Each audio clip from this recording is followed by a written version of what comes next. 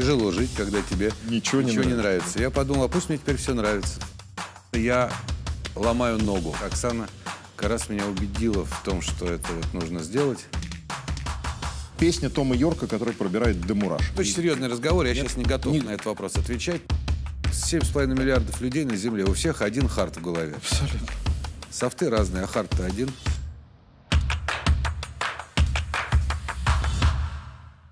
Всем привет, это «Окна связи». Меня, как всегда, зовут Евгений Рыбов. И да, сегодня мы выходим э, не в стандартный, не в наш обычный день, но ради нашего сегодняшнего гостя можно было и подвинуться. А, Вообще у нас в гостях уже была его супруга, друзья, коллеги, актеры его театра и даже футболисты его любимой команды. А вот сегодня у нас в гостях, наконец, художественный руководитель Google-центра, актер, продюсер и много-много другого Алексей Агранович. Здравствуйте, добрый вечер. Здравствуйте. Здрасте.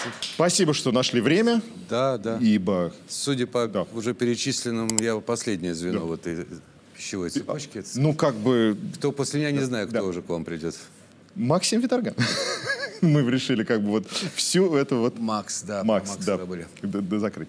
А в последнее время вышло несколько сериалов э, с вашим участием, поэтому сегодня поговорим э, и про «Пингвинов мамы», и про Бореньку, про чиновницу, про работу в театре, конечно, и про много-многое другое. Ну, собственно, начнем вот с одной из премьер, где как раз с супругой с Викторией играете. Это сериал «Чиновница». Для зрителей. Кр- кр- Краткое содержание. Попробую описать, собственно, то, что вот мы нашли. А, Итак, на платформе Кион э, выходит сериал «Чиновница». Героиня Виктория Толстогановой, сотрудница регионального Минздрава, отвечает за закупки медикаментов. У нее есть женатый любовник, по чьей просьбе она отдает заказы крупному бизнесмену. А вот он, собственно, сидит пе- перед нами. И все идет отлично, пока она не узнает, что она беременна, любовник ребенка не хочет, а еще у нее умирает мама, которая как раз принимала таблетки, которые выпускает этот самый бизнесмен. И, в общем, закручивается. Примерно, да? Ну, как-то да. Так- вот так такая хитрая история, сложная. Хитрая история, да. Ну, так, вот, вот в вашем изложении достаточно хитрая, да. А Ну, нет, слушайте, я не смотрел сериал. Я не смотрел, а снимались мы в нем, а, дай бог памяти, прошлым, вот не, не, не, то есть летом, сразу после пандемии, летом Прошлым летом, 20 соответственно, года, да. Мы его сняли, поэтому я так, э, вот сейчас, не, нет, ну, так я сюжетную линию помню, вот, а постольку, поскольку я э, как бы со стороны своего персонажа знаю эту историю, вот, э, в моем представлении оно все правильно, но так сказать, там чуть-чуть вот, другая драма, вот. да. А, Я так понимаю, что вашего героя интересует чистая прибыль. Ну, так было Ну, написано так- в так, сценарии. да, Нет, да. дальше мы пытались его, так сказать, актер же, он адвокат своего героя. А, и, ну, тем не менее... а, Ну, в общем, посмотрев вот то- то, что пока можно было посмотреть, я так понимаю, э, казалось бы, его выставляют, ну, он нехороший человек, да, там есть таблетки пустышки, он дает взятки, он убирает людей, которые стоят у него на пути. Но у нас не возникло ощущения, что как бы он главное зло. Он как раз достаточно честный. э, Вы когда-нибудь видели главное зло вообще? На, на картинках, скорее, да. Босха. Ну да, вот этот чудесный.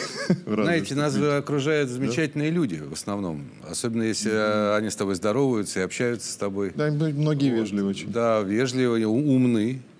Вот, и в чем-то совершенно замечательные. Вот, э, да мы с вами примерно такие же, если разобраться. Поэтому, так сказать, что есть зло, что есть добро. Мне как раз в этом сценарии-то и не нравилась такая некоторая однозначность, что ли. Вот, и я даже, если честно, отказывался сначала в нем сниматься, вот, но потом как-то Оксана как раз меня убедила в том, что это вот нужно сделать.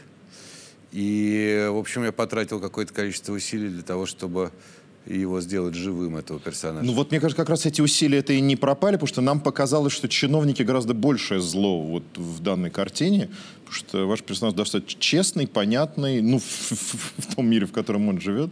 Я чиновников Да. в картине... Нет, ну, так сказать... э, э, Ну, да. ну, в общем, что мы там будем сейчас? Что больше, А, что смотрите, меньше зло? Да. а, цитата, цитата. А, смотрите, сейчас я вот скажу. А, цитата прям вашего героя. «Если копнуть человеческую природу поглубже, то обязательно упрешься в расчет». Хорошее. Это говорит, собственно, вот Салов, да, ваш персонаж. Да, согласны? А, отчасти, отчасти, отчасти. Нет, ну там можно же еще глубже копнуть. Вот. Он просто он копает глубоко, но не очень. То есть под расчетом еще что-то можно найти? Конечно. Что? Страх. Ну да, одна из базовых потребностей человека как раз, да? Ну, вообще одна из главных движущихся да. сил, движущих сил, да. Вот а, страх, изумление еще есть такое вот тоже. Вот а, изумление первое с человеком происходит вообще, когда он появляется, и сразу становится страшно. Вот, а потом расчет. Понял. Э, Еще одна цитата. Но это не касается 100% людей. Вот если бы мы сейчас... Ну, большинства, наверное, все-таки. Я не знаю. Нет? Какого-то количества, ну, да. А, потенциал и характер. Там я не буду точно цитату, приводить. Это, собственно, то, что ваш герой ценит э, в людях. Что вы цените в людях? Что для вас? Потенциал и характер? Да. Я не выписал точную цитату, но э, Ну, потенциал, ну, если расшифровывать, и как для себя, я расшифровывал, то это а, способности, талант и навык а, его совершенствовать, как бы и прийти к своему таланту, на самом деле. Вот э, это и есть э, характер. а вы что цените в людях? М, Порядочность, честность, в первую очередь, по отношению к самим себе, чувство юмора, щедрость. А люди часто честны вообще? А уж особенно по отношению к себе. Ну, это просто сказать, в силе ласточки летят на юг. Как бы я не знаю, а, часто ли а, честны люди. Ну, вопрос, часто ли Да. человек ставит перед собой такую задачу? Быть честным. Вообще, да. А задумывается ли об этом человек, часто ли? Не думаю, что это относится к подавляющей части человечества. Это как раз, если вот чуть-чуть скакнуть дальше к Бореньке, там примерно же вот этот диалог как раз, да, между э, вашим персонажем и Максимом, когда Максим, э, ну, как персонаж говорит, ну, вот надо быть честным, говорить, а, Ну, там, да, да, там... ну, ну, чуть-чуть по-другому, но по-другому, да, я, я не честный, зато я счастливый. Нет, там как раз персонаж в Бореньке, как раз он, наверное, это один из самых честных по отношению Да. к самим себе. К себе совершенно Самому точно. себе, да. К себе точно. Ну, Борис Наумович, может, еще. Да, Да. да. Ну, чуть позже об этом поговорим. А еще одна цитата, э, уже вот как раз, которую произносит э, героиня Виктории. «Был козел, стал молодец». Про Максима она, кстати, это как раз говорит. Ну, про персонажа. Про персонажа. А, потому что за короткое время там вообще происходят разительные пе- перемены, я так понимаю, ее персонажа, в реальной жизни.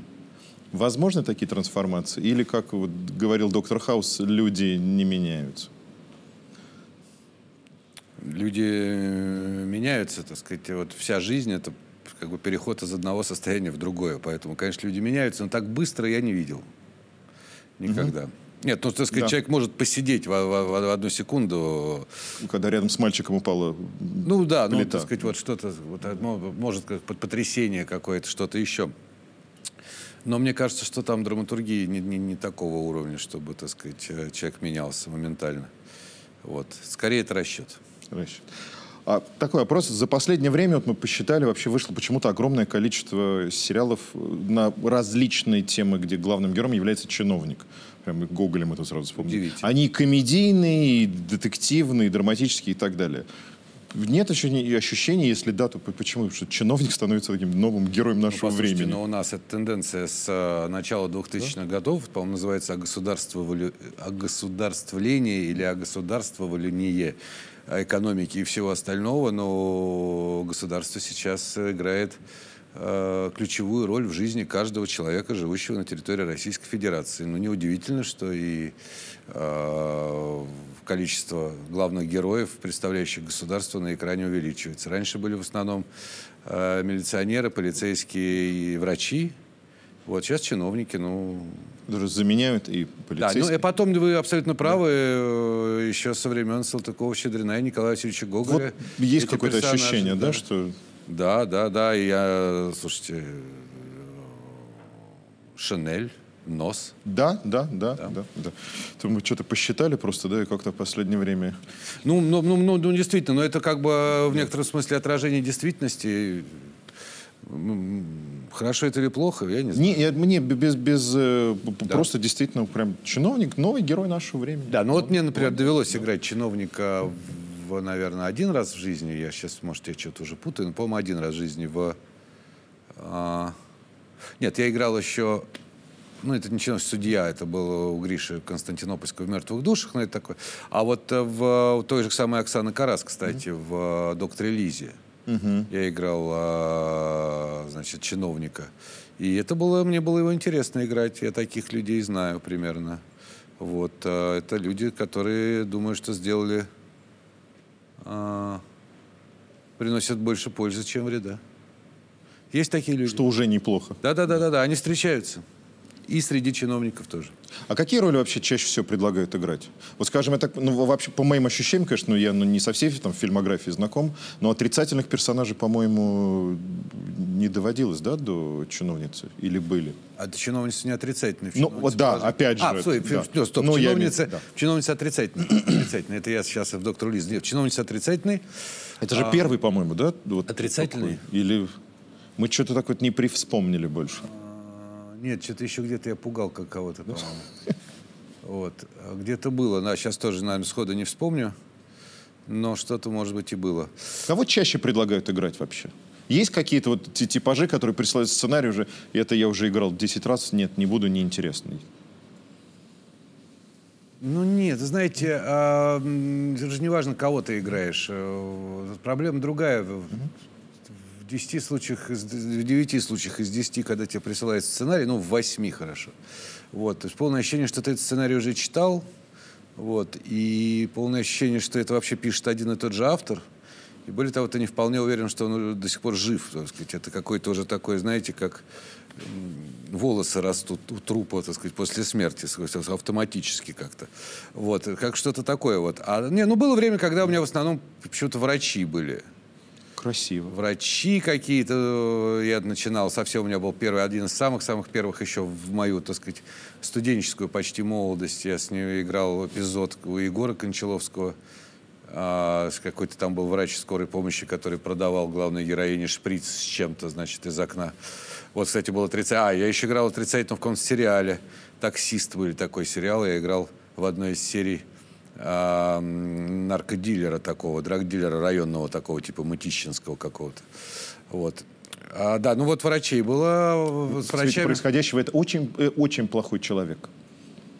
Ну, в те времена тоже считалось, что не очень. И- Тоже не, не очень. Вот. Ну да, ну ужасно чудовищно, конечно. Вообще по старинке продавал так.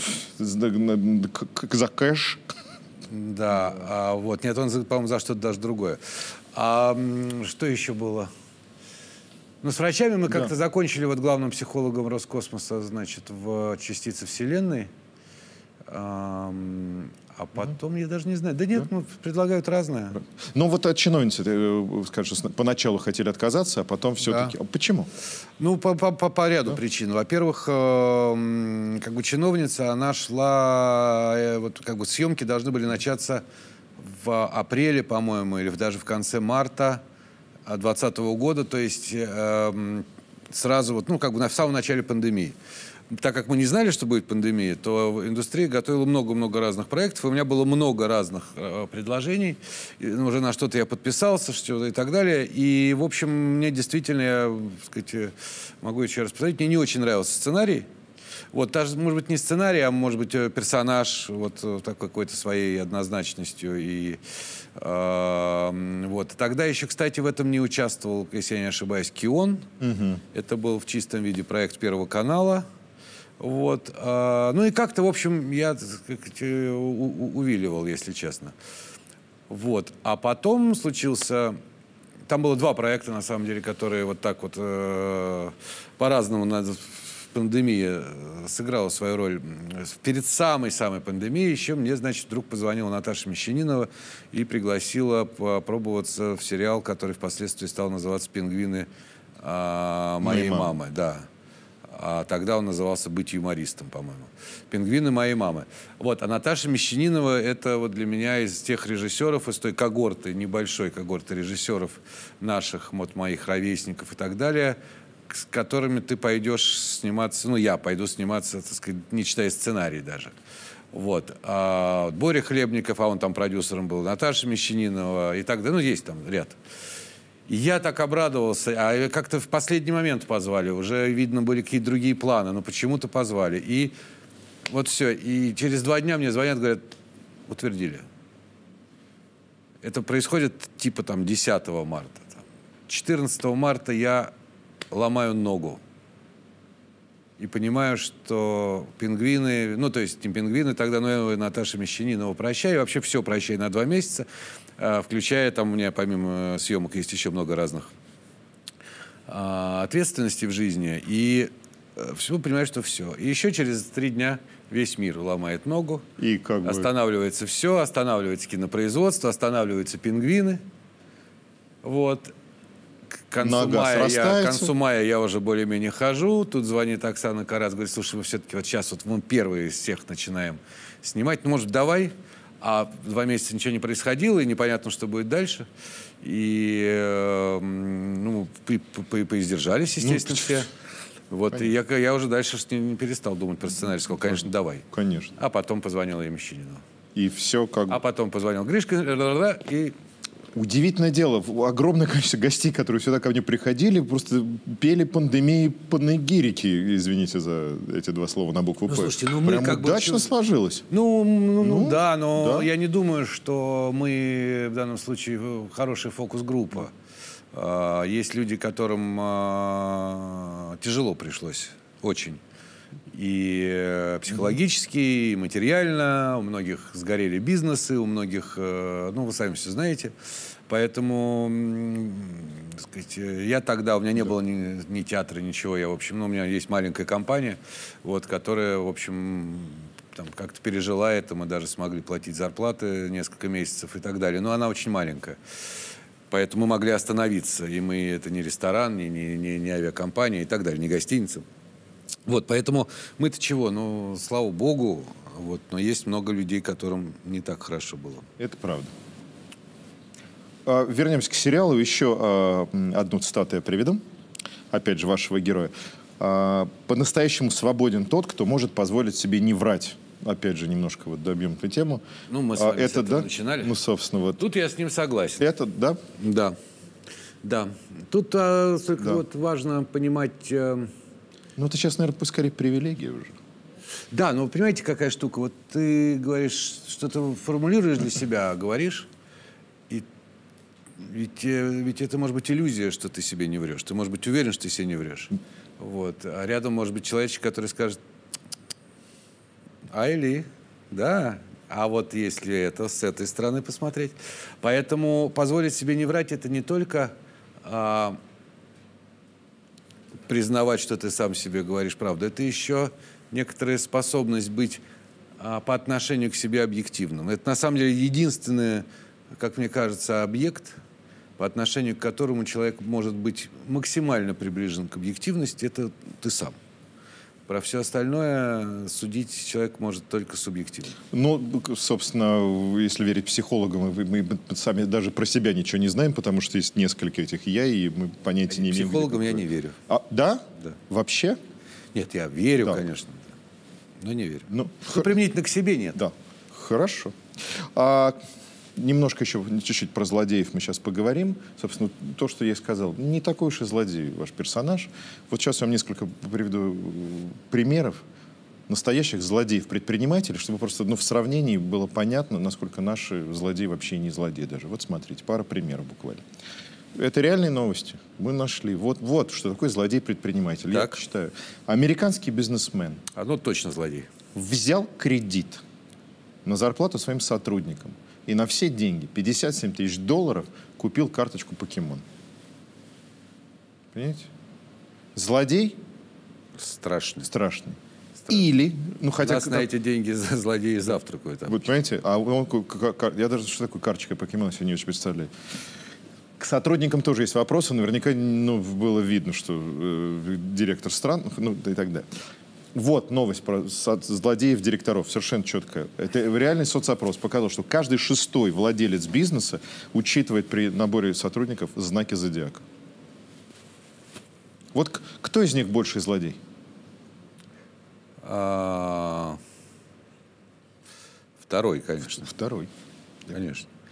Это же кто-то же э, футбольная вот эта вот тема была сейчас. А в футболе тоже на- набирают, да? Это А есть там тренеры, вот да? это, ну, в- у нас же есть сейчас такой ам, нарыв как бы на футбольном, а, на теле на, на нашего футбола. Это самый любимый, значит, э, клуб страны московский «Спартак».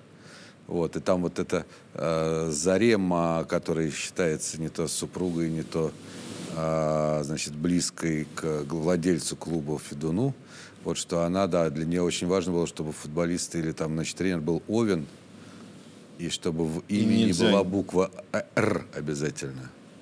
Вот. Ну, то есть это, конечно, это, я думаю, что это все несколько утрировано, но тем не менее это Поди такой знай. мем, мем.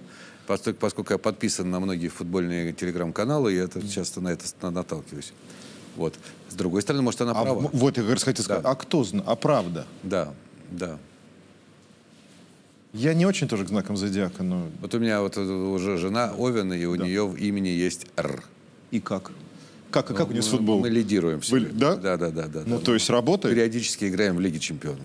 Понимаете? Боренька. Хочется про него. Тоже «Р» Про- есть. про- Бо- И он... Вы как раз же где-то весной начали съемки, да, по-моему? если- Где-то там В как июне. раз тоже... Нет, мне ребята вроде говорят, что... Нет, Ну, съемки не начали важно. в июне. Ну, не важно. А, сериал «Бореньки» что-то нет. Первый сериал «Квартет И», который, собственно, вырос из одноименного спектакля. Опять же, краткое описание для тех, кто не видел пока ни одной серии. А, режиссер, которого играет Максим Виторган, и удивительно его зовут Максим ну, в сериале. Ребята даже не стали, конечно, ну, выдумывать. Ну, есть Правда, определенная такая, да, Ленивая, да. Сни- Снимает картину своей мечты. В последний съемочный день вся команда празднует окончание съемок.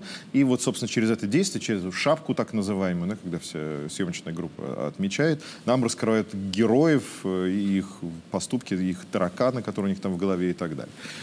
Опять же, очень такое весьма условное описание. Э, Герой Алексей кинооператор. Э, Причем, значит, если все остальные герои в некотором таком раздрае находятся, то, собственно, герой Алексей, в общем, я так понимаю... же, гармонии да, с собой. Он уже, он уже, да, он, он уже в раздрае был и решил, что теперь Теперь ему все нравится. все хорошо, все нравится. А, значит, прям, да, в свое время решил, что теперь ему будет все нравиться. Прям это точная цитата. э, Ну да, что я жил, мне, да. э, я понял, что я живу, мне ничего не нравится. То есть вообще ничего. А тяжело жить, когда тебе Ничего не не нравится, нравится. Я подумал, а пусть мне теперь все нравится. В принципе, то же самое, но только вот вы живете, вам ничего не нравится. Это прям... А я живу, и мне все нравится. Кому из нас легче? Именно. В реальной жизни такое вообще возможно? Вот так решить в одномоментно, и стало все хорошо и здорово? Или все-таки... Ну, да, да, конечно, да, это дзен. Это ну приятие. Ну, просто слово нравится, не нравится, оно такое, э, ну, принимать все, что тебя вокруг тебя, а не, не, не, не пытаться изменить то, что ты не можешь изменить, а принимать в целом Вселенную, мир, окружающий тебя и людей, окружающих тебя. Это мудрость, по-моему.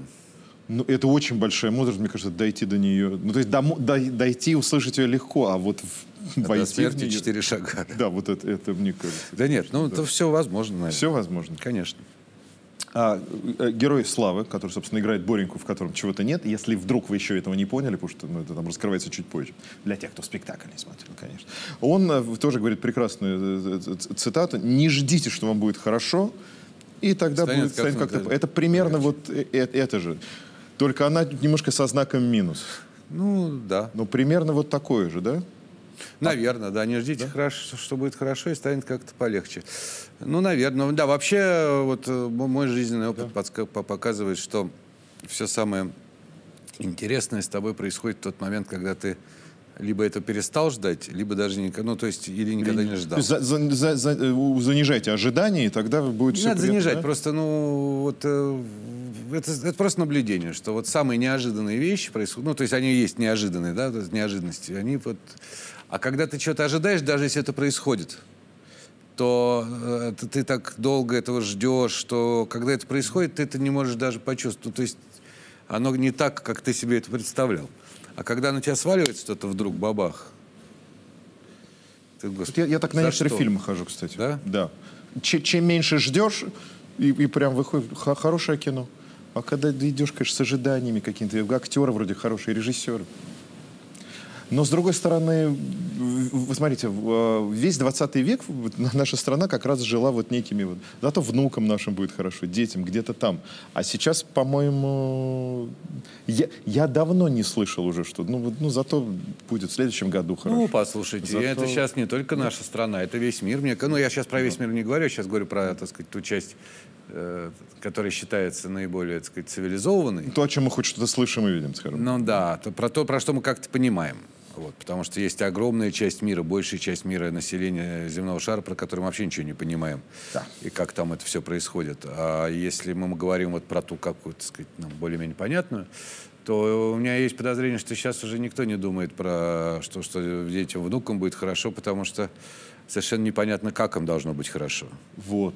И главное, им, правда, хорошо по-другому. Да, им уже, во-первых, им уже хорошо. Да. Вот, гораздо лучше, чем нам.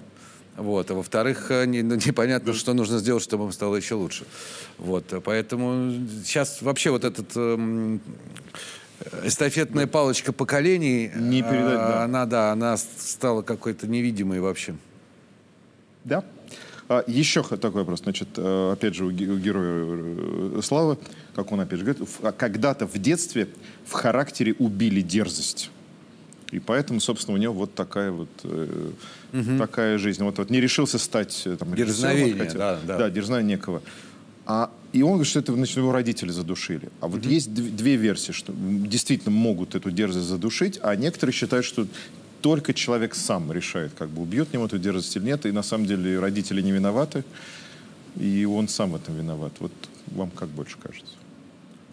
То есть как бы человек сам творец своей судьбы? Или да, действительно, если неправильные условия, неправильное окружение? Знаете, я сейчас э, выступлю да. со странным заявлением. Ну. Я считаю, что человек — это э, такой некий корпус, в который заключен, э, заключена жизнь. Да, а вот что такое жизнь, ответ вопрос очень сложный, но э, это вот не, не вполне себе человек по форме. Это что-то вот в, в этот корпус что-то заложено. И в какую сторону это развивается, развивается ли это, сказать, развиваются ли таланты, заложенные в человека или нет, это зависит от такого количества факторов. Тут и родители играют роль, и характер человека играет роль, и еще миллион разных факторов, которые мы с вами не можем учесть. Поэтому э, говорить, что да, родители, родители могут, конечно, э, так сказать, э, э, травмировать. Э... Есть же, по-моему, фраза у нелюбимых психологов, что нет таких детей, которых не испортили бы родители. Да, да, да, да, да. Вот нет, это я все как да. раз э, нет. Есть какие-то отдельные случаи, когда да, родители действительно, ну, фактически уничтожают своих детей, их психику, так сказать, и э, лишают их воли и чего бы, чего бы то ни было ужасно. Вот. Но вообще в целом я уже это однажды говорил, повторю еще раз, что э, вот эти все детские травмы и вообще все то, что сегодня как бы человеку помогает якобы исправить психотерапевт, вот, а на самом деле, по-моему, просто циклит человека на этом, и это такие фейковые победы, вот. Но э, это мое личное мнение. Вот. Все то, что раньше, вот то, что сейчас называется травмами, в нашем э, поколении и во многих предыдущих называлось жизненным опытом. Вот. И этот жизненный опыт и формирует во многом э, и личность человека, и его как бы волю, характер, и поступки, и достижения, и все остальное. Вот. В, выращивать человека в, в неких, так сказать, тепличных условиях, в стерильных, во-первых, в ближайшее время не представляется возможным, во-вторых, э, наверное, не нужно, потому что тогда мы все будем слишком похожи друг на друга. Как в некоторых утопиях. Хотя ну, да. там тоже было неплохо. У нас же с вами у всех, да. вот 7,5 да. миллиардов людей на Земле, у всех один хард в голове. Абсолютно. Софты разные, а хард-то один – вот эти софты и есть жизненный опыт. Чем мы туда подвесили себе, или нам подвесили, или случайно подвесилось. И вот тут как раз расслоение начинается. Кто тебе может купить лицензионные, а кто нет. Нет, нет, у всех одинаковые. Ну, софт. А софты разные, вот, да? Вот, вот, вот. А еще тогда вопрос туда же а, примерно. А, успех и счастье, тоже где-то в каком-то интервью вы назвали химерами. Цитата. Материальные, это материальные вещи, и я не могу назвать их успехом, потому что к успеху нужно стремиться, а к этому стремиться точно не стоит, к материальным каким-то благам. К чему стоит стремиться?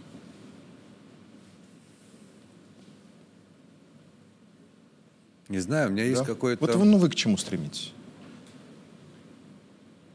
Я не стремлюсь ни к чему, э, честно вам скажу. У меня есть, э, эм, ну, скажем, некоторое количество ответственностей в жизни, которые...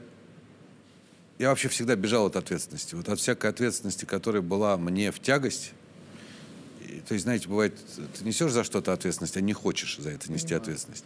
Вот я всегда бежал от этого, бежал довольно вероломно.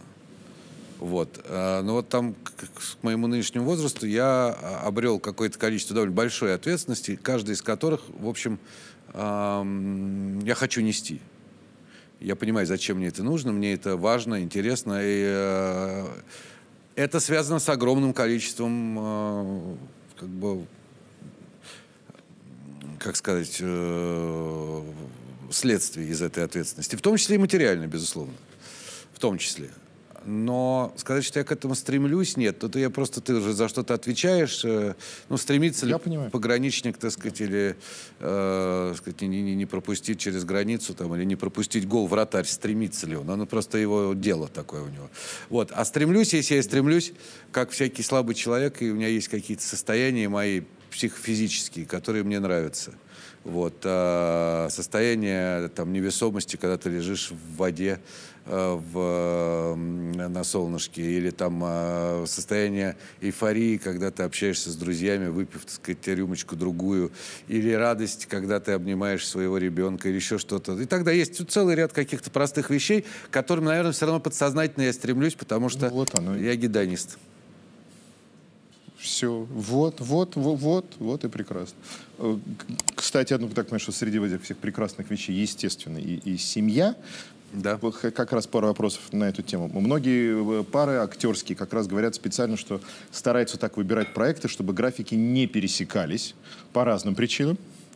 У вас, я так понимаю, в последнее время как-то так, наоборот, получается, что вы все время вместе. Ну, не все время, но вот как минимум, да, два сериала. Время от получается. времени. Вот. А как, во-первых, получается, кто дома, кто с детьми, если все на съемках, например? Кто как скажи. говорит, да. Ну, во-первых, а, дети всевозможные, их как бы у нас с разных сторон много. Вот, достаточно, они уже достаточно взрослые. Самый молодой из них это вот наш с Викой общий сын Иван, ему 10 лет. Вот, а, но этот человек, например, э, каждый день спрашивает у меня, пап, что ты будешь на ужин? Он готовит сам. В 10 лет. Да, да, да. Вот у него началось вот такое же серьезно этим летом. У него есть меню, там из э, 20 блюд. э, он, причем таких непростых. И никто никогда в жизни его к этому не, так сказать, не подталкивал, не подсказывал. Он когда-то давно что-то стал говорить, что он будет или футболистом, или поваром. Но если откуда футболист растет, я еще понимаю, то вот откуда повар не вполне. Вот. Но тем не менее, значит, он в принципе может сам себя э, покормить. Э, Сейчас это все вызвать э, продукты купить. У него есть приложение, так сказать, карточки привязаны. Все, он все это... То есть- Друг- другой мир. да, абсолютно конечно, другой мир, да. да. Вот Более того, он может погулять с собакой и, и так далее. Не, но, ему, конечно, ему просто скучно и грустно одному бывает. Вот, поэтому есть няня, вот. Но и все-таки не все так драматично, что прям мы с Викой не бываем все время дома. Мы бываем, мы то по очереди, то вместе. э, Вот. э. Нет, конечно, не хватает времени так, чтобы полноценно. Что самое вкусное готовит сын? Какой-то прям коронное Филе миньон. блюдо. У него Филе? коронное блюдо филе миньон, да. Да, это я фантастика. сейчас, я не приготовлю. Вот. 10 Нет, нет. лет. Более того, я могу назвать ряд ресторанов а, из лучших в Москве, где мы это блюдо пробовали. А, у него самое вкусное. Это я сейчас не потому, что это мой сын. Вот. Потом он какое-то блюдо недавно приготовил а, из лосося с рисом. Я даже не знаю, откуда он его взял. Ну, то есть я догадываюсь, там вот в одной из соцсетей, э, в которой движущиеся картинки. Есть соцсети- статичные, Да, а есть соц- со это- статичными, это- иногда движешься, а там только это новое движущиеся. слово. Да, да, да. Вот, а, немножко как бы она сейчас ассоциируется с часовым механизмом. Вот, и вот в этой соцсети там есть какие-то люди вот, э, с опытом, которые рассказывают, Как, как, да. готовить.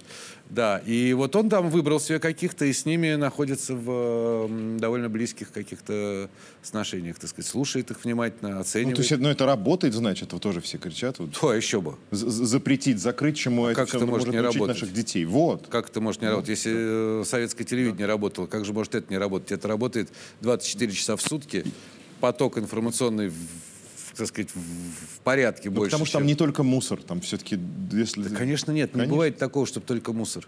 Это есть все заблуждение Готов. стариков. Да, да, да. Вот моя первая соцсеть. Вот. А, да. Ну, у нас тоже поток. Так, хорошо. А опять же вопрос, вот, э, когда домой приходите после съемок с супругой, есть какой-то тумблер? Дома о работе говорите?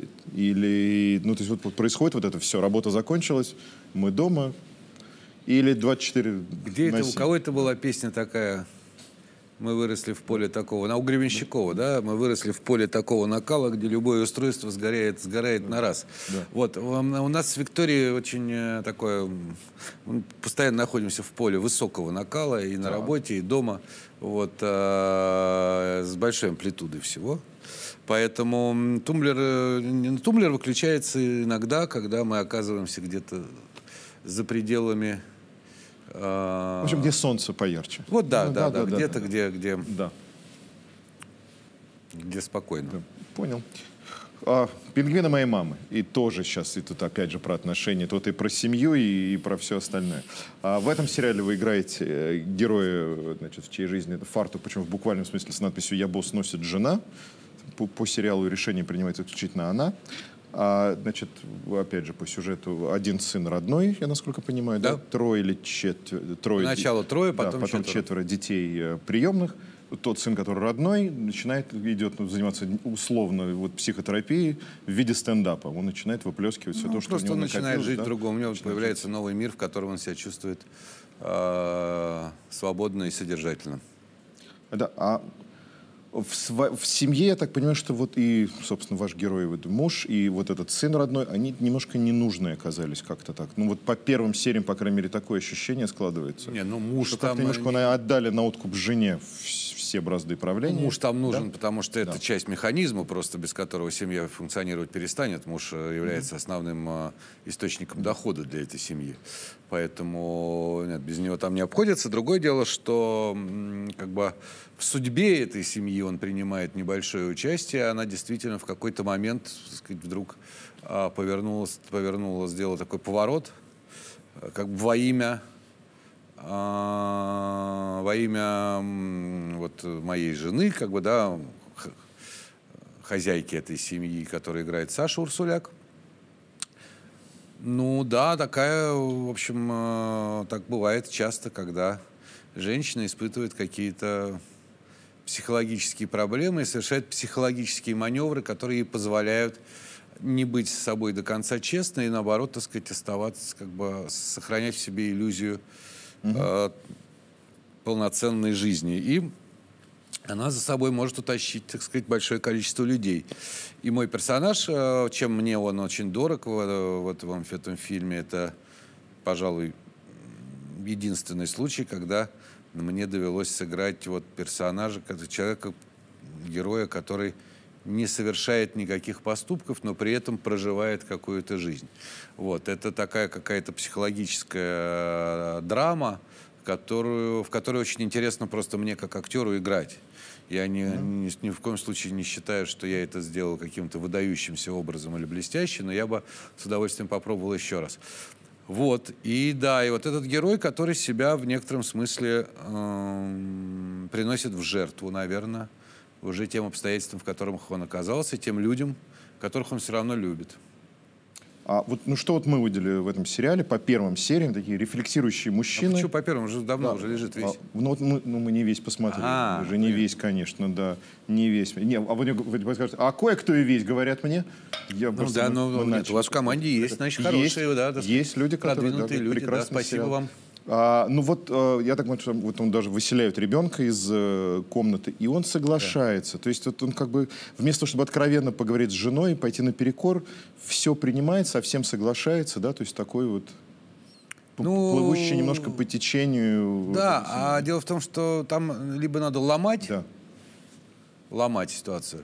Вот, во-первых, ты не, не понимаешь, что случится. Э, Вся эта семья с большим количеством приемных детей выстроена на вот как бы фундаментом этого всего является э, вот это странное образование, в которое превратилась, э, э, так сказать, моя жена по Сериал, сериалу, да. И она живая, хорошая, ее жалко, так сказать, там есть какая-то патология. Но если это сломать, то, во-первых, это все развалится, потому что выяснится, что все не совсем так, как так сказать, мы представляли себе. И это, в первую очередь, это будет травмой как раз для этих ребят, которых э, мы взяли к себе жить. Вот. Э, Хотя и, им как раз жить, пожалуй, что э, из всех героев этого сериала, ну, во всяком случае, которые имеют отношение к нашей семье, им-то как раз, наверное, они наименее страдающие, потому что они могли бы оказаться в гораздо больше и были в гораздо более худшей ситуации. Вот. А вот почему мы взяли на себя такую ответственность и почему это происходит э, за счет нашего родного сына и за счет каких-то там наших судеб и так далее. Ну, вот этот вопрос сложный, и повторяю, что я для себя решаю этот вопрос как э, тем, что, т- таким образом, что мой герой приносит себя в некотором смысле в жертву. А э, тоже это такая не- неточная цитата из одного из интервью с вами недавними, а, что сейчас очень много вот как раз таких здоровых, успешных, но убитых э, 50-летних э, мужчин. Уставших. Уставших, да, ну убитых, да, конечно, в этом смысле. Да. А откуда вообще эта вот проблема? Слушайте, Почему я не знаю, так? это, это заметила ваша коллега с одного из телевизионных каналов. Да, да. Вот, а, м, мне кажется, что ну, такие тоже есть. Ну, просто, может быть, сейчас к 50 годам человек устает. Вот, э, у нас же нет опыта. а, Я, ни- ни- я ни разу не жил до 50 лет, в смысле. как во-первых, это- да, во-первых, у нас нет личного опыта жизни до 50 лет, а в целом у человечества нет опыта жизни в таком а, плотном информационном как бы пространстве, да, и в таком... а, мы сегодня с вами в силу ряда обстоятельств принимаем а, такое количество решений за единицу времени, которые ни наши родители, ни наши предки не принимали. Вот. А, это знаете, как вот э, разница между... а, почему-то считается, что IQ хоккеистов выше, чем IQ футболистов. Есть такая. Да. Я как человек, играющий в хоккей, Да, а я как человек, играющий в футбол, не могу с вами согласиться сейчас. а я и не, я просто слышал об этом. Вот, а, но тем не менее объясняется это как бы, как бы хоть в этой, в этой гипотезе, объясняется это тем, что количество решений, принимаемых за единицу времени хоккеистом, Больше, да. а, в порядке больше, чем э, футболистам. Хотя фут- футбол становится все быстрее, сейчас все тоже плотно, но все равно интенсивность вот этих вот количества принятия решений, баскетболистов то же самое. Вот э, человек сейчас принимает огромное количество решений. Точнее, не он, а мозг его. Да? Более того, как мы знаем, это вообще долгий разговор, я про это могу долго разговаривать. Мозг принимает решения за- задолго до того, как Я у- знаю, у человека говорите. возникает Я читал эту чудесную книгу. иллюзия того, что Да. он что-то решает. Но вот эта интенсивность, она, с одной стороны, развивает, безусловно, человека, и вообще мы выглядим лучше, а, чем наши, например, вот бабушки и дедушки в 50 лет, так сказать, уже э, мы вроде как э, форму сохраняем. Но некоторая усталость в глазах наблюдается порой, да, да, да. Ну, действительно, как бы разница между там, нашими прадедушками, дедушками, даже родителями, она гораздо меньше, чем вот то, что сейчас происходит. Ну, то есть мы первопроходцы, первооткрыватели? Мы, безусловно, Честь нет, нет, и хвала. абсолютно точно. Мы, я, Хоть бы- то есть, что-то я мы боюсь, только мы сделали. не первооткрыватели, а мы Да. скорее, так сказать, последние закрыватели, но это уже Это- другой вопрос. Ну, ну, хоть в чем-то мы первые. Ну, Да. Мы можем же Мы хоть первые чем-то- последние, да. чем-то гордиться. А то, ну, правда, мы все вот тем, чем-то там. Первые вот. закрыватели. Первое закрывать. Да. Сейчас мы будем про театр разговаривать. В связи с этим э, запускаем наше стандартное еженедельное голосование. Вот что мы спросим у наших зрителей. Что в первую очередь влияет на ваш выбор, когда вы собираетесь пойти в театр? Вы выбираете актерский состав, Спасибо. а вы выбираете статус театра или вы выбираете, на какую постановку, собственно, вы э, пойдете? Я бы добавил еще наличие QR-кода. Это, может, это перечеркивает все первые три пункта. Давайте еще пред- представим, что он у вас есть. Хорошо. Как он? Пишите, Статус, голосуйте, да. Актеры, режиссер или... Да, актерский состав, статус театра или сам спектакль. Вот это мы спрашиваем у зрителей. Да, вот любопытно, что нам напишут, собственно, и про театр. Напишут ли вообще? Да, да пишите. Таким образом мы выясняем, есть ли у нас зрители сейчас просто. Как минимум. Да. Эти, вот. Это А, такой итак, маркетинговый ход. Ну, да, ты умный человек, конечно. А, любопытно. Как бы, а, арочка, арочка. Значит, когда-то вы участвовали в программе «Улицы Гоголя», снимались в сериале «Мертвые души», теперь возглавляете Гоголь-центр. Да. Да? Кстати, да, это, это- это- Какая кинематографичная. Ну, а, э, мертвые души, да, да, да. Ам, Есть ощущение, что Николай Васильевич как-то ну, все время немножко рядом? Ну, это ощущение у меня есть на протяжении последних лет 35. Вот, Николай Васильевич с нами достаточно. Я считаю, что роман «Мертвые души» один из величайших романов, а, поэм о жизни, а, На отдельно о русском, территории? О Да. русском, да, о территории, о людях. э, Совершенно. То есть я вот, например, небольшой поклонник пьесы «Ревизор», да, потому что она сатирична, по сути своей. Я, ну, так, сатира.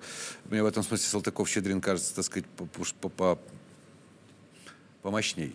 А вот «Мертвые души» — это великая поэма абсолютно.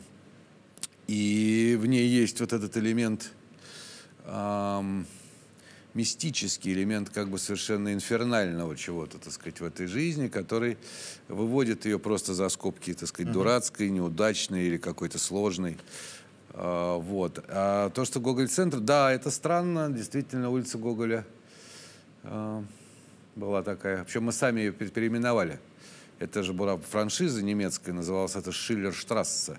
Ну, про- программа. фактически, Вот, и мы искали как бы какой-то аналог, вот, и так как в, Пушкинской площади это было назвать странно, или улицей, мы решили, что на- назвать это улицей Гоголя. Не, да. очень... э, Вот. Вполне, Да, слушайте, ну, Гоголь-центр. Вот, да. Да, э, театр, э, ну, собственно, я-то, тут, тут у меня, вот, если говорить о психологических каких-то проблемах, которые есть у человека, вот, если говорить о моей, у меня есть такая проблема, точно, абсолютно. Она связана, в общем, отчасти и с актерской профессией, а вот с э, профессией художественного руководителя это развела во мне этот синдром, знаете, есть, знаете, такой синдром самозванца. Самозванца, конечно, Да, вот. конечно. И это мне прямо очень знакомо, потому что Ам, Едва ли еще, даже там, не знаю, год назад, Через три месяца год будет как раз, да, насколько? ну да, ну не год, но полтора года назад уж точно, если бы мне кто-нибудь сказал когда-нибудь, что я буду художественным руководителем театра любого вообще.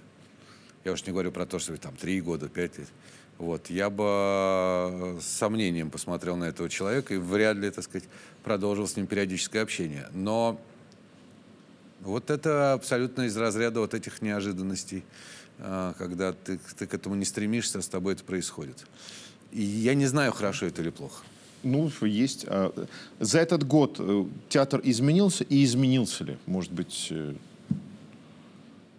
все было поставлено Ну, скажем? Да. так, а, для стороннего наблюдателя, для человека, который является его пользователем, клиентом нашего театра, нет, не изменился.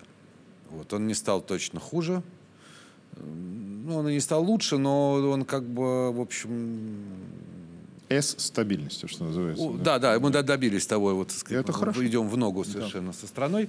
Но нет, он, э, в общем, и не нуждался в каком-то, наверное, таком серьезном улучшении. А, Другое дело, что никогда нельзя поддерживать все на одном уровне, потому что а, обязательно этот уровень будет падать тогда. Вот тут, в общем, мы, мы думаем о будущем. А, цитата. Худрук не должен считать свой вкус определяющим при формировании репертуара. Да. А, а чей вкус тогда должен лежать в основе формирования Не репертуара? вкус. Вообще не вкус. Ага, не вкус. Вкус это а, наиболее субъективная такая вещь, которая, ну, скажем так, а, я вообще не люблю слово вкус, да, а потому что вкус это, во-первых, он сразу как-то вот э, говоришь, вот у, у него есть вкус, говорит какой-то человек, и вокруг него собирается еще там несколько тысяч людей, которым тоже кажется, что У него есть. у вас хороший дизайн студии, да. Вот. У них нет вкуса, говорит человек, вокруг него собирается еще несколько тысяч человек, которые считают, что это дизайн, так сказать, устаревший, и, в общем, уже давным-давно в Швейцарии, а в Скандинавии уж точно все это по-другому. Вот. И вот эти возникают такие, это чушь. А, ну, для меня это ничего, ничего не определяет. Есть какой-то коллективный разум. Вот в, в моем случае а, точно абсолютно для театра есть какой-то коллективный разум. Есть а, группа людей, с которыми, мнению которых я доверяю, которые, например, не настаивают никогда на том, что вот как и я, я, я не считаю, что в театре должны идти все спектакли, которые лично мне нравятся. Вот. А, да, я думаю про, про то, что в театре должны идти спектакли, которые поднимают те или иные темы, да, уровень вообще разговора, как бы интеллектуальный, ментальный, какой-то, сказать, профессиональный, он должен быть высокий. Позиция художника совершенно может быть разная. Как бы качество этого таланта может быть разное, жанрово, стилистически, как угодно, эстетически это может быть по-разному. Вот. А, но и повторяю, вот, вот для меня театр это должен, он должен быть очень разный. Вот. И я могу сказать, что Кирилл Семенович это удалось сделать. У него э, в, в нашем, теперь уже я могу говорить, театре, э, во-первых, ставил не только он, во-вторых, э, ставили люди, ну, не всегда близкие его, как бы, эстетике, эстетике его художественному языку. Вот. И э, ему всегда был интересен и остается интересен вот как бы человек, который пытается что-то сказать. Вот, поэтому, но это не вкус. Это что-то другое. Запутал. А, а, молодые, как раз вот разница поколений, молодые режиссеры сейчас, вот на ваше, по, по вашему ощущению, отличаются от своих э, уже теперь маститых коллег, но когда они были вот в этом молодом возрасте? Какая-то вот степень свободы, подход, взгляды. Ну, слушайте, да, конечно, они отличаются. Ну, конечно, ну, как сказать, а, есть масса разных э, факторов, которые э, невозможно, ну, вот э, там, с момента, когда я родился, с момента окончания Великой Отечественной войны прошло 25 лет. Да, то есть мне там в мои 25 лет – а, э, соответственно, в мои 20-45, да, вот память об этом, генетическая память, вообще вот общественная память об этом была одной. Вот сейчас прошло, соответственно, уже сколько, 85 лет, да, а, и в обществе этой памяти нет. И люди, да, в некотором смысле свободнее, в некотором смысле беззащитней, в некотором смысле, так сказать, эм, не, не, не помнят и, и не знают. А, вот у нас было ощущение, что вот есть самое страшное, это вот там вот эта вот война, да, а все остальное с этим можно справиться. Вот. А чем дальше она, тем а, слабее о ней память. Вот, ну, нам все время они напоминают, но не так. Нам напоминают они все время, как, так сказать, о торжестве э, силы и оружия, вот, и вот этом подвиге, так сказать. А на самом деле ведь война — это то, что вот каждую секунду Страх? Когда, да, даже не за себя, а за своих родных, близких, когда каждую секунду ты сидишь и, и понимаешь, что там твой сын сейчас где-то, да, он воюет, и ты от него не получаешь месяцами писем. Это твой сын, твоя дочь, да, твой муж, твоя жена, твои близкие. Ты не знаешь, что с твоими родителями после того, как пролетел над их городом самолет. Вот это из постоянного страха потери и смерти состоит война и как бы подвиг-то в том, что чтобы вернуть время, когда этого нет, да, вот для чего это все делалось. Вот. А, вот об этом мы, обо всем мы сейчас как-то об этом по-другому говорим. И люди об этом забывают тоже. Ну, не забывают это естественным образом. Люди живут сейчас, э, с одной стороны, непуганные, с другой стороны, да, менее защищенные, более свободные, это правда. Более свободные. Конечно, есть разница. Это я вам сейчас один да. фактор только привел, а их миллион еще разных. А тогда вот такой, как происходит, в принципе, вообще выбор режиссеров, с которыми театр работает? Как составляется репертуар? На что больше обращайте внимание, на что отталкиваетесь? Баланс какой-то, классика? Новинки? Это очень серьезный разговор. Я нет? сейчас не готов не... на этот вопрос отвечать, тем более, что у меня нет системных ответов на ряд uh этих вопросов. Хорошо, да. А тогда проще. тогда про... У вот прекрасные молодые артисты, тоже бывают Да. здесь в гостях. Они очень активно участвуют в разных шоу, там, в, в клипах снимаются и так далее. Вы как, ну, условно, некий классный руководитель, э, там, как-то следите за соцсетями своих учеников. Вот этого кого-то можно, это подписан. нельзя, не порочь лицо театра, туда не ходи, это не делай. Ну, на кого-то подписан, конечно. А, э, я вам должен сказать, что некоторые из них, э, это не я их классный руководитель, а некоторые, я у некоторых из них учился, в общем, а, современному театру. И я пришел в 40, там, 5 лет, в 44 года играть в Гоголь-центр э, спустя 20 лет после того, как я последний раз выходил на какую-либо сцену в качестве драматического артиста. И вот эти молодые, как вы говорите, значит, м- молодежь, которая снимается в клипах, это все довольно серьезные большие артисты. Это и Филипп Авдеев, и э, Никита Кукушкин, и Саша Горчилин, и Женя Сангаджиев, и Семен Штейнберг, и еще могу, я просто сейчас всех не буду перечислять. В, в этом смысле у нас а, очень сильная труппа, поэтому я им не классный руководитель, я им друг и товарищ. Э, У меня есть некоторые аспекты в жизни, в которых у меня больше опыта, и если он ну, может понадобиться, они ко мне, так сказать, э, придут, а зачем-то я к ним хожу. Вот, я, просто, да, на чьи-то соцсети подписан, а, ограничивать человека в его как бы творчестве и прочем а, никогда не стану. М, Бывают, конечно, так сказать, можно спрогнозировать какие-то ситуации сложные, так сказать, связанные с теми или иными проявлениями гражданских позиций, но вряд ли нам сейчас об этом стоит говорить. Хорошо. Тогда, мне подсказывают, уже э, есть у нас результаты нашего опроса. Сейчас мы узнаем, сколько человек чего. Так, статус театра выбирают при походе в театр 27%. Сама постановка интересует 33% зрителей, а в 40 человек, э, 40, человек, 40% зрителей э, в первую очередь смотрят, кто играет на сцене, на актеров. Вот так выбирают, оказывается, сейчас походы в театр.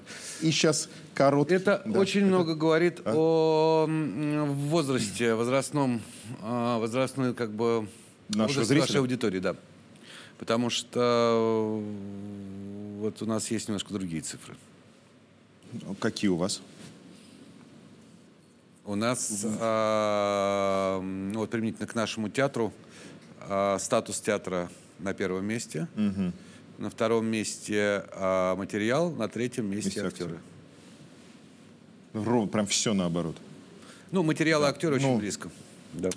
А, масса еще вопросов. Сейчас прям такой блиц. Вот то, что прислали, зрители просили спра- спрашивать, я прям не буду ничего от себя добавлять.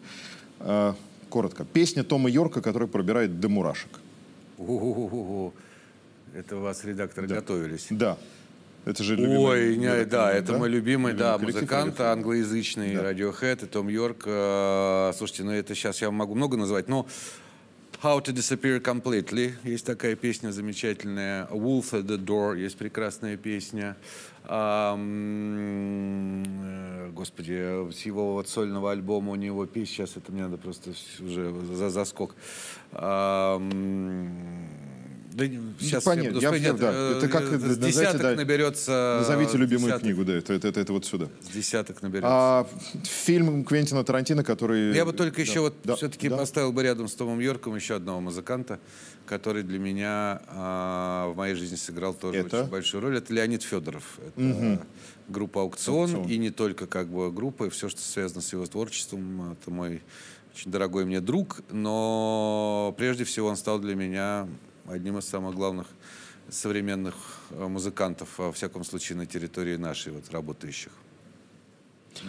Э, Фильм Квентина Тарантино, который пересматривали бесконечное количество раз, и чему бы вы хотели научиться у Тарантино? Такой э, Ну, прям, фильмы, да. естественно, «Криминальное чтиво» и м, «Бешеные псы». Чему бы я у него хотел научиться? Ой, всему.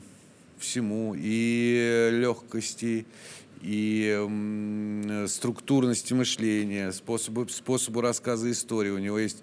Ну, как «Криминальное чтиво» для меня в этом смысле просто икона, да, как можно рассказать одну историю с... э, Таким образом. Ну да, но это как Да, бы да. Рассимон в, в одной, в некотором смысле, да? Да, конечно. Вот, но да, и, ну, с, с такой иронией, с такой абсолютно чеховской какой-то легкостью иронии. Я считаю, что на самом деле вот э, фильм Квентина Тарантино «Криминальное чтиво» по своему языку, вот по, по как бы с грани между трагедией и комедией очень близок к э, вот Антон Павловичу, мне кажется. Так, отличный вопрос. Кого не хватает локомотива, чтобы стать чемпионом?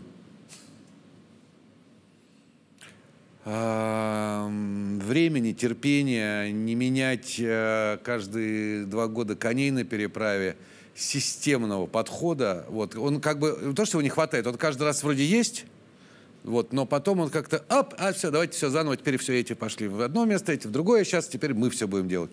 Вот сейчас делают люди. До этого делал замечательный, на мой взгляд, и совершенно несправедливо э, забаненный болельщиками Василий Александрович Кикнадзе, мой хороший друг, вот, у которого была очень искренняя, честная э, любовь к этой работе и так далее. Ну вот как-то не сложилось. Сейчас новые люди, э, хорошие, мне кажется, очень амбициозные, с интересным подходом, но время, дайте время и не, не душите. Вот. э, Это, кстати, в первую очередь относится вот к внешнему миру, потому что люди так нетерпеливы, Сейчас вообще очень быстро все стало. Петр Мамонов, мой вот еще один человек, которого я очень глубоко уважал, и люблю его, вообще любил, царство ему небесное. Вот он в одном из своих шоу каких-то а, на телевидении, еще на ТВ-6, я помню, что-то он вдруг пришел туда. Но это еще было до его самого полного отшельничества. Вот, и он как-то рассказывал про то, что вот это, там было так, так, здесь. Говорит, а сейчас, говорит, сейчас как? Сейчас, говорит, э, сейчас же люди как? Он говорит, все и сразу. Все и сразу ему давай. Вот это вот все и сразу не бывает так. Не бывает, ребята. Поэтому потерпите, относитесь с любовью. У вас как вот дети у вас растут. Он же у вас не сразу вырастает, так сказать. А, Это процесс. И коленки бьет, и расстраивает, и деньги тырит э, в, так сказать, и- и- и- из Хорошо, кошельков. чужие. Хорошо, да неважно, как бы, да, ну все бывает. Вот, но э, если вы его будете любить, так сказать, да, он называется, вырастет. Да. Вот то же самое с локомотивом. Хороший вот дальше вопрос. Сериал, который вам понравился, но про него мало кто слышал. Что-то вот, ну, то, что не у всех на слуху, а вот свое. Ну, я не знаю, у кого у всех. А сериал, который мне, вот, правда, очень сильно понравился за последнее время, сильнее всего, я сейчас ни, ни, ни- ни- ни- ни в коем случае не буду, и не, я не могу говорить про сериалы, в которых я снимался, да, мы их выводим за скобки вообще. Это первый сезон сериала «Острые козырьки». Вот, это тоже не то, что прямо шибко свежая вещь, я так думаю, что это год 15 наверное, да? Да, где-то там. Вот, а может, чуть попозже, 15, не знаю. А, Нет, нам попозже все-таки. А может и нет. Вот, это вот очень сильное произведение, которое я в прошлом году, болея э, одной известной болезнью, Модный. вот, э, модно страшно называть, но такой, да. Вот, смотрел и приходил в восторг от того, как это сделано. хорошая вещь. Да. А, тут, а, а, в об- обратный вопрос. Сериал, который всем нравится, а вам не зашел. Есть такое? Пере- вот переоцененный, так сказать. Всем нравится, а мне не зашел. Ну, тебе, конечно, на ум, кроме кальмара, почему-то вообще ничего не приходит, да? Кальмара я смотрел не всего, нет, там э, я не могу сказать, что он не Но зашел, он- это серьезное произведение, а, там можно, есть о чем разговаривать, оно серьезное. А так вот, чтобы всем нравился, а мне не зашел. Ну, знаете, может быть, вот, может быть, э, но это опять в, в нашей кругу, я не уверен, что он всем нравится. Я не испытывал вот такого восторга, как бы от сериала «Чики», например, как, как воспи- э, э, испытывали многие. Он хороший, он мне, но вот такого как бы восторга я, может, не, не испытывал, да. А, Вы много путешествуете по России по работе. Какие три места должен посетить каждый? Сахалин, Так. остров, а, город Калининград, Так. все непременнейшим образом. Вот. э, Ну, Санкт-Петербург, понятно, в Санкт-Петербурге все были, э, почти, я думаю. Вот. э, ну, А про остальные места нет. Очень много мест, которые я люблю. Вот сейчас у нас какие-то отношения развиваются с э, таким городом Северным Архангельск, например. Вот. Но я с ним только знакомлюсь. Я еще как-то в него вот попытаюсь как-то понять, что это так за место. А, Очень интересное. Что еще? Нет, ну вот Да, вполне. Безусловно, и первые два места это Сахалин и Калининград. А вот и возьму на вооружение. Ну, Да. Развивает же внутренний туризм, говорит. Восток, Запад. Да, вот прям вот. У нас там два фестиваля. Как фестиваль. Фестиваль «Край Да. света Восток», «Край Да. света Запад». И, да. вот, и мы где-то здесь. Все, к сожалению, закончилось наше время. эфире. Не, вопросов еще масса, нам не говорит, вы же... А еще вода есть, смотрите. Вода не закончилась, вопросы не закончились, время, к сожалению, закончилось. Спасибо вам огромное. Спасибо. огромное. Э, Алексей Гранович был у нас в да, гостях. в случае, могу Да. я пригласить в театр к нам? Да? Во все камеры просто, Да, пожалуйста. дорогие друзья, если вы бывали в Google центре, то я просто хочу вам напомнить про то, что мы существуем еще. Вот, а, у нас не так просто купить билеты, но сейчас из-за того, что вот с QR-кодами и так далее, э, билеты Раньше, так сказать, они исчезали там за несколько дней вперед на месяц. Сейчас они еще пока есть в небольшом количестве, но есть. Вот. И те, кто никогда не был, вас приглашаю. Приходите, пожалуйста, потому что мне кажется, что если вы не побываете хотя бы один раз в жизни в Google-центре, то у вас нет оснований говорить, что вы вполне знаете, что такое современный театр. 8-9 обыкновенная история я играю. И в конце декабря маленькие трагедии тоже я играю. А еще есть ряд спектаклей, которых я не играю, на которые нужно идти в первую очередь. Спасибо, Спасибо. огромное. Спасибо вам большое. А, В следующий раз гости ждем, собственно, Максима Виторгана э, с нетерпением. Еще раз Макс, спасибо нагрел огромное. тебе место. Да. Спасибо. Все. Спасибо. спасибо.